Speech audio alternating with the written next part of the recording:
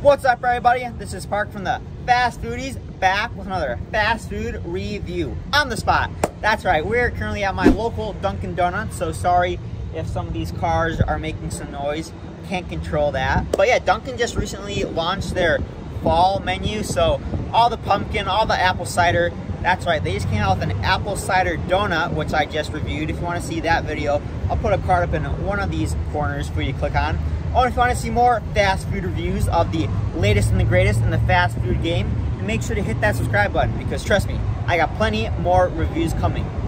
Now, this is not actually going to be a review, this is going to be a battle because Dunkin' Donuts came out with a iced pumpkin coffee and a pumpkin cream cold brew. And I thought they seem pretty similar, and if you don't want to get both, then you should know which one to get, which one's better. So that's what I'm going to tell you today. Here are the two items without further ado, let the battle begin. First up, we're gonna go with the original iced pumpkin coffee.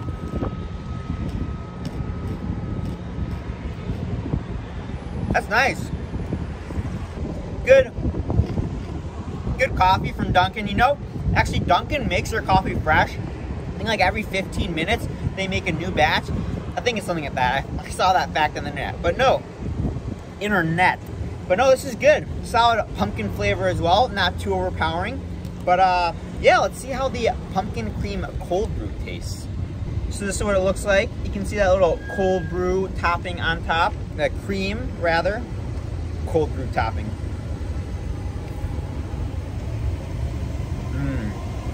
Now that.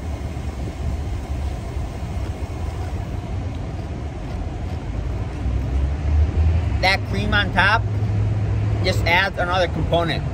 Mmm, super nice, light, airy, pumpkin flavor.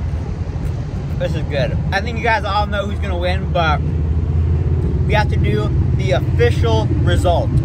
The winner of the iced pumpkin drinks, I guess, from Dunkin' Donuts is going to be the pumpkin cream cold brew there you guys go. Hope you enjoy it. And yeah, if you guys stop at your local Dunkin' Donuts and looking for something pumpkiny, definitely recommend going with the pumpkin cream cold brew over the iced pumpkin coffee. There you guys go. Hope you enjoyed it, and I'll see you guys in the Thanks next review Please or like, battle. share, subscribe. if you want to hear more, check out Fast Foodies Podcast on Apple Podcast and Spotify.